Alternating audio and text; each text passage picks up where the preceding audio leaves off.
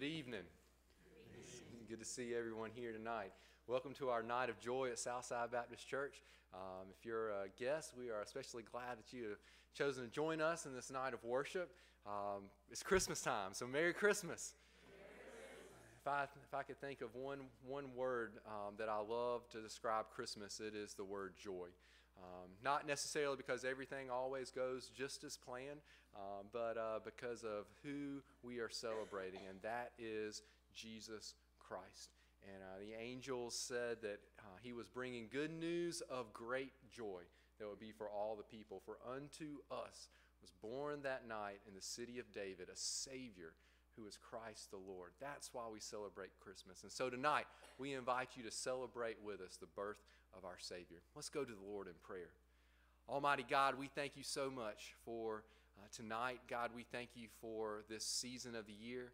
Father, we thank you that you have loved us so much that you looked down on us in our need of a Savior and you sent one, and He is your Son, Jesus Christ. God, we thank you that you first loved us. God, even while we were still sinners, Christ came and He died for us. Truly, God, that first night um, of Christmas in Bethlehem, God, was a night of joy. God, good news had been brought to the earth. And Father, we thank you um, that Christ was born in that lowly stable in a manger. God, even though there weren't many people that noticed his, his coming, Father, we thank you that um, he came and did what he said he was going to do to lay down his life on the cross. And Father, tonight, as we celebrate the birth of our Savior, Father, my prayer for all of us is that you would fill our hearts with joy. God, I thank you that it doesn't matter um, the circumstances that we find ourselves in in life, whether they're circumstances that we are glad about or circumstances that make us disappointed or sad. Father, there can be a joy that lies deep within us that can overcome all of the many things that we face in this life. That joy is found only through Jesus. So tonight, Father, we want to worship you. We want to say thank you for sending Jesus through the music that, uh, that we get to listen to and that we get to participate in. Father, ultimately, tonight is about Jesus. It's not about us, it's about Jesus. And so, Father, with that being said, would you receive all the praise and all the glory and all the honor? In Jesus' name we pray. Amen. We welcome you tonight to this night of joy, and we want you to sing with us as we stand together. We'll sing this call to worship we've been learning in the morning service. We want to sing it tonight as well, so let's stand together and sing Unspeakable Joy. Everybody stand.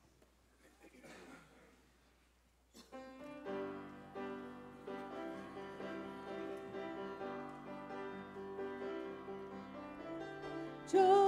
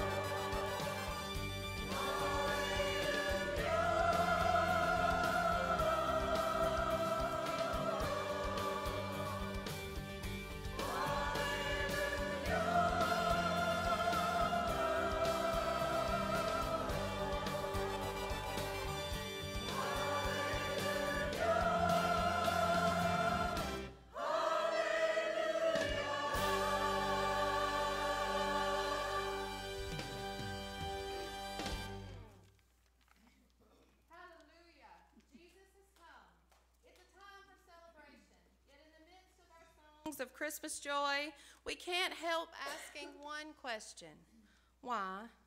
Why would this king forsake the glory of heaven for a dark, dirty stable? Why would he turn his back on multitudes of angels bowing before him for a world that could not begin to fathom who he was?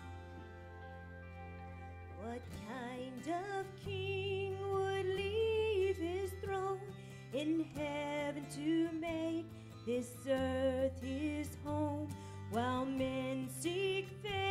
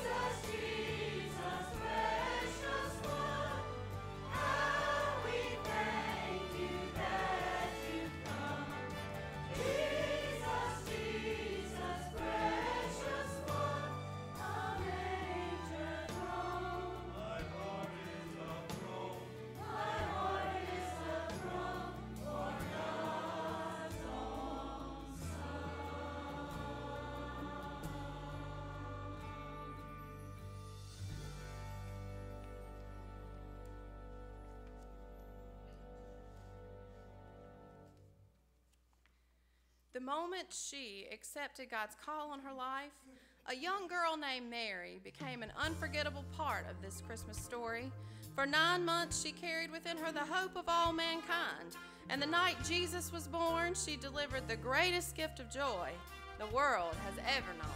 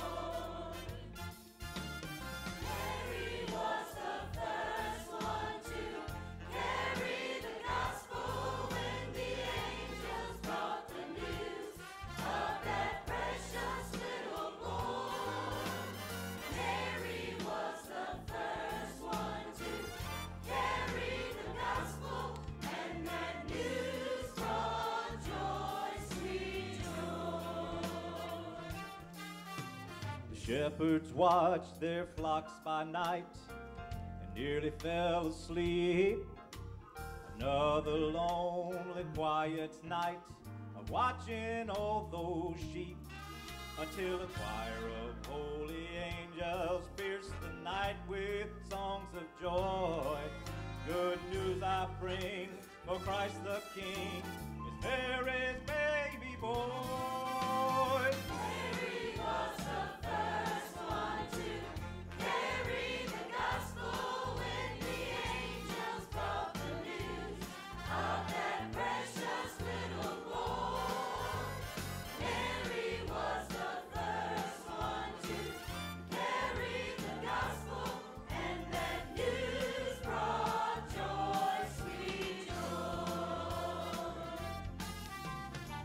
To the highest, and to Christ his only Son.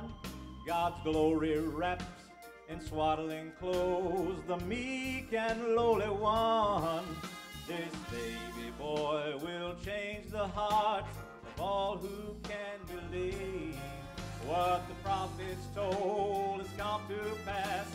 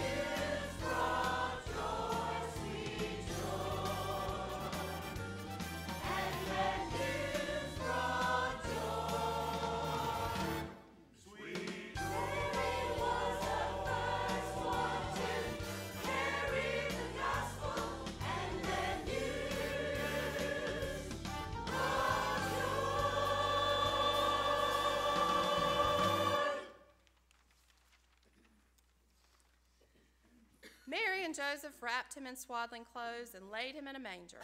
The strips of cloth kept him warm and made him feel secure. They were also a symbol, a way faithful Jewish parents said, We will teach this child to walk straight in God's word and his way.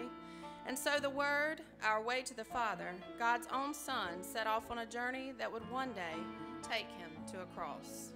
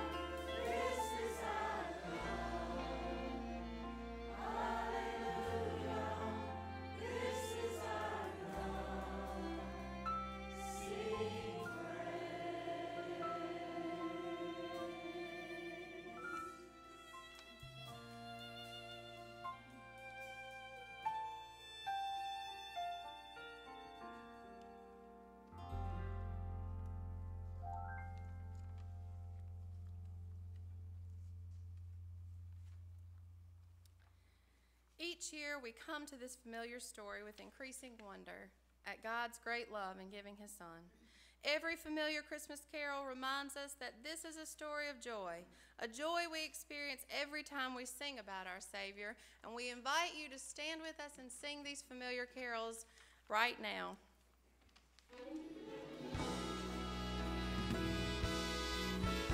In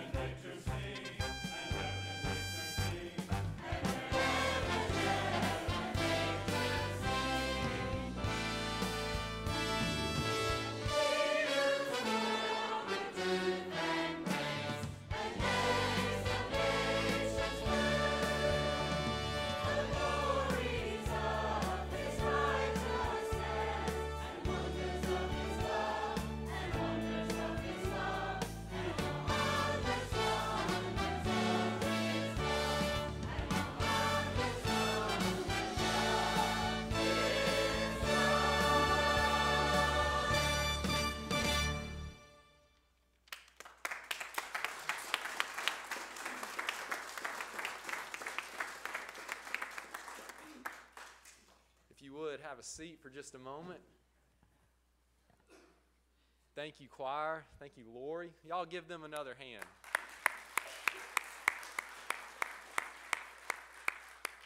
Ah, that was incredible.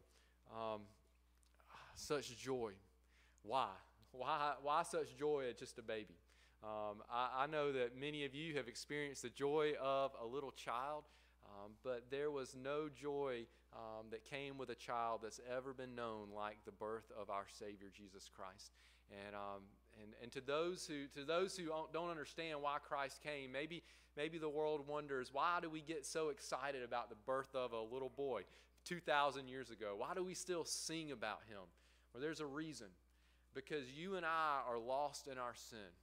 We are. Um, that, that's just the truth of the matter that we have sin in our heart and it separates us from a holy and righteous God. Because He's holy and righteous, uh, what we deserve is for Him to punish us. And that's exactly what He will do. Uh, he will punish us for all of eternity. You say, why do you talk about something like that on a night that we're supposed to be talking about joy? Well, that's why it's joyful that Jesus came. See, Jesus came so that we wouldn't experience the punishment that we deserve. We all deserve it, but Christ came for a specific purpose, and the choir just beautifully shared that with us that He came to die, that He came to set out on a journey. And He did. He set His face at one point in His ministry to Jerusalem, and His purpose in going to Jerusalem was to give His life as a ransom for sinners. And that's exactly what He did. Um, it was painful, it hurt. He felt the forsakenness of being separated from his Father, and yet he did it because he loved us so very much. And so tonight, what I would like just to ask you is have you experienced the joy of Christmas? Not have you experienced the lights and the Christmas trees and the presents and those things that we like to celebrate. Not even the, the, the getting together with family and, and how joyous that can be. But have you experienced the salvation that Jesus came to bring? That's what the choir just sang about. And that's why they sang about it. It's because they've experienced the joy of salvation. But have you? tonight before you leave, if you've never experienced the joy that Christ came to bring, the joy of having your sins forgiven and knowing that you have a place that is secure in heaven waiting on you, then before you leave tonight, get somebody and drag us to the side and say, drag us gently, but drag us to the side and say and say i want to know how my sins can be forgiven. Will you please help me know how i can trust in christ as my lord and savior? You can you can drag me to the side. You grab one of these choir members in just a few moments. Um, grab lori. You get somebody that you know maybe somebody that you came with tonight. But don't leave tonight without knowing personally the joy of salvation that jesus came to bring would you join me in prayer Almighty God, we come before you once more tonight, and we thank you. God, thank you so much for the for the um, the time and effort that the choir and, and Lori and those running the, uh, the the sound and the lights and the video uh, screens. And God, thank you for the time that they've put in and, and sharing this with us tonight. But God, um, this is more more than just us getting together and singing some songs. God, this isn't just a concert. This this is more than that. God, this is a worship service. God, we are worshiping you because you so graciously provided a way of salvation through Jesus Christ, your Son. And God, it was an easy road, was not an easy road that he walked, and it definitely was not an easy death that he died. Father, he came for a very specific purpose. Yes, he, he came and, and, he, and, he, and he taught, he, he did miracles, um, and those were important, but he came for one specific reason, and that was to lay down his life on the cross. And God, we cannot truly celebrate the birth of Jesus. We cannot truly celebrate Christmas without also remembering the cross. But God, thank you that Jesus Christ did not stay dead, that he had power over death, power over Satan, power over our sin. And he rose up from the grave on the third day. God, that's why we're able to celebrate his birth. It's because though he died, he rose again. And today he lives and he rules and he reigns at your right hand. And Father, you are waiting, Christ is waiting to rescue anyone from their sin. If we will just call out to Jesus and ask him to forgive us, not because we deserve it, but because he did all the work that was necessary to rescue us from our sin through his death and resurrection. Father, that's what tonight is all about. Father, I, I pray right now that if there is anyone here in this room who has never trusted in Jesus Christ as their Savior and received forgiveness of sins and the joy that comes with knowing Jesus as their Lord and Savior, God, I pray that tonight would be the night that they receive salvation. God, even right now in this moment, I pray that they would, in their hearts, call out to you and ask you to forgive them based on the blood of Jesus that he shed on Calvary's cross. Thank you, Father, that you sent Jesus that night in Bethlehem. Thank you that it was good news of great joy for all people. Thank you, Father, for the joy that you place in our hearts through this little baby that was born in Bethlehem and laid on a manger, but later was laid on a cross, nailed to it, and died for our sins. God, tonight is about Jesus. May you and you alone receive all the honor and all the glory that is due your name. In Jesus' name we pray. Amen. If you would stand, let's give the choir and Lori one more round of applause. And y'all go ahead and be making your way out those doors.